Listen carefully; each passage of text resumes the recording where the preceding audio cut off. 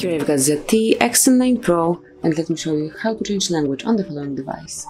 So at first you have to open the list of all applications, find and pick the settings, now scroll down to the very bottom of the list and pick system. Then click on languages and input and here by tapping on languages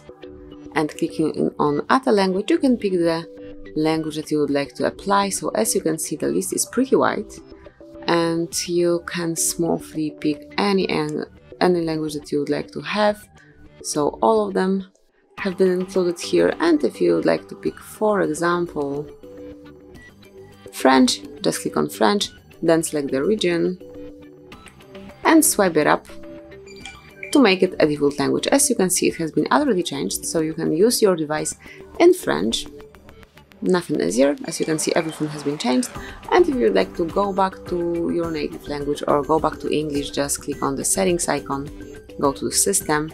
pick languages and input, go to the languages and then you can either swipe English up or you can remove French by tapping on more icon, then select remove, mark the language that you would like to delete and then confirm it by tapping on bin icon and tapping on OK. And as you can see now we are back in English.